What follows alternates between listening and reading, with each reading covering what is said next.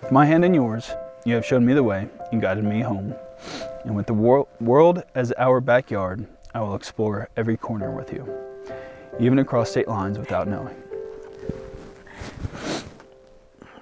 You have shown me patience when I've run out. You have shared your warmth at 4,800 feet when I forgot my sleeping bag. You have loved me when I've been unlovable. You've challenged and pushed me since the day we met, and you inspire me to be a better man with your kindness and selflessness. Without you, I would surely lose my way.